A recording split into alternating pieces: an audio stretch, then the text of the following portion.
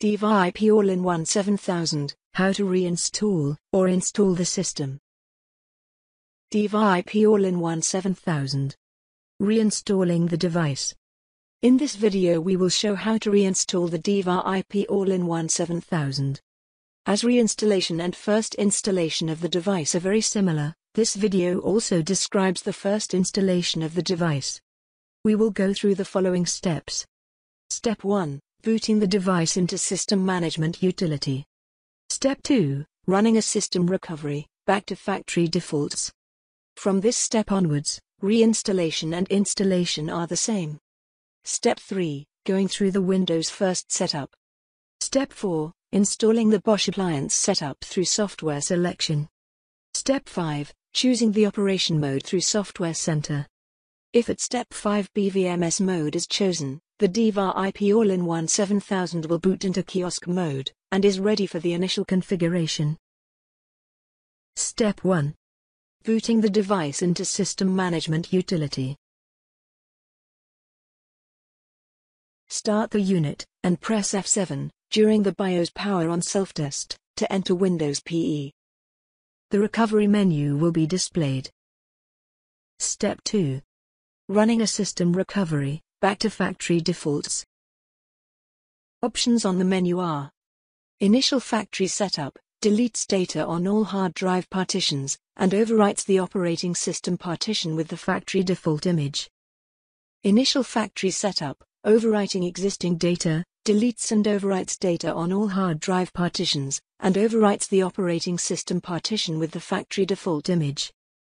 System recovery, back to factory defaults, overwrites the operating system partition with the factory default image, and imports existing virtual hard drives from the hard drives during recovery.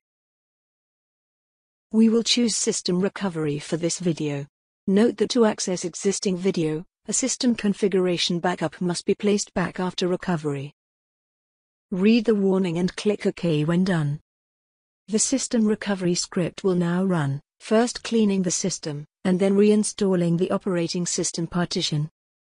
This part of the process takes approximately 10 minutes, with the full process of reinstallation taking approximately 30 minutes. Once the setup is concluded, press OK to restart the system.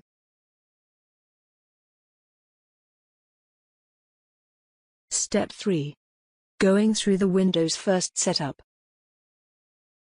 Now we will go through the Windows setup process.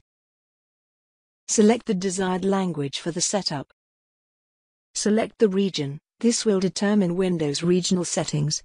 Select the desired app language, this is needed when changing region only. We will keep the keyboard layout set to US, but this can also be changed.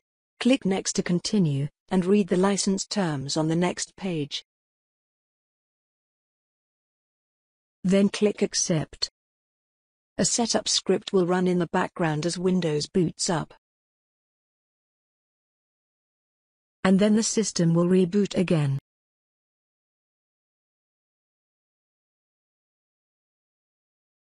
The password for the administrator account, BVR admin, must be changed. Make sure to create a secure password, and store it in a safe location.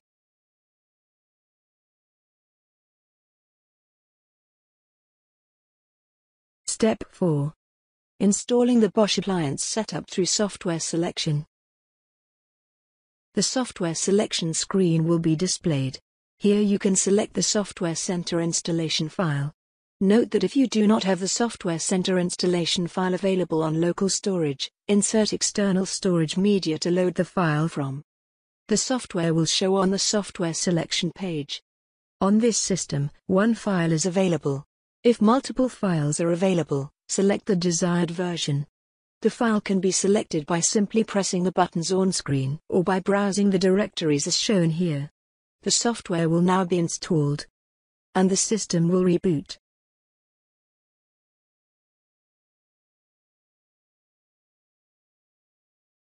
Press Ctrl Alt Delete to log into Windows with the previously created password.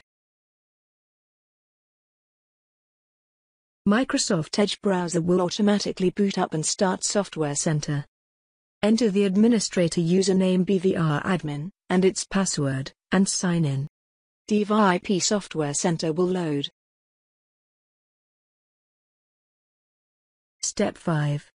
Choosing the operation mode through Software Center. External storage can also be used to load the latest software from. The latest software and upgrade packages can be downloaded from downloadstore.boschsecurity.com. There are three available operation modes. Select BVMS to use the device as a full recording and management system. Select VRM to use device as a pure video recording system. Select iSCSI storage to use the device as iSCSI storage expansion unit only.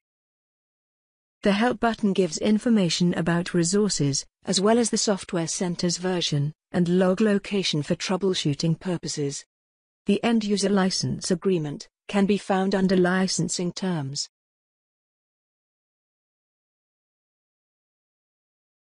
We will now choose the BVMS operating mode.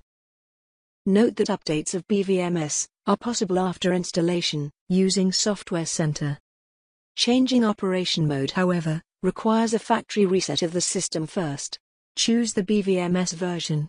We only have version 10.1 on our device, so we choose that. And then choose Install. A pop-up window shows all the versions of the software, included in the installation package.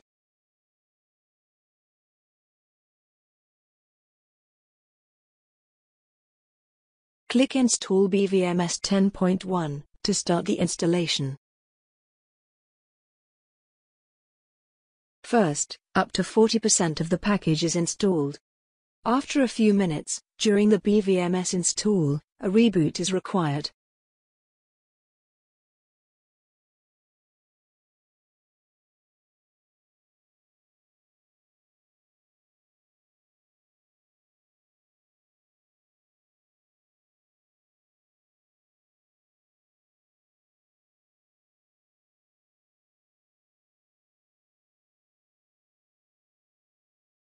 Log into Windows with BVR Admin.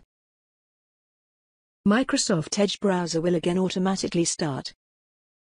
After logging into Software Center, the installation will continue until done. And the device will reboot for the final time.